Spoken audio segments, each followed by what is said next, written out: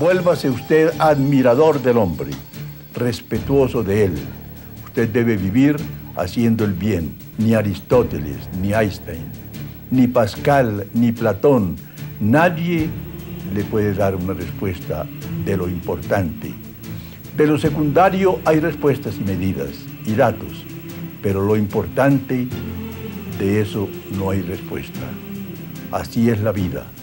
El hombre que piensa tiene momentos de tristeza ante su gran ignorancia. El hombre puede amar. El hombre debe servir. El hombre es una belleza en el mundo.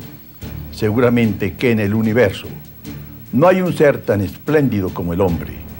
Pero el hombre tiene sus limitaciones. El hombre se puede preguntar todo. ¿Qué es su alma? ¿Qué es Dios? ¿Qué es la eternidad? ¿Qué es el universo? ¿Qué es él mismo? El hombre no tiene respuestas para nada. El hombre es un ser que se pregunta y nunca haya respuestas. Es posible que el hombre hable continuamente y no da ninguna respuesta a lo importante, a lo trascendental. Lo único que puede hacer el hombre es hacer el bien.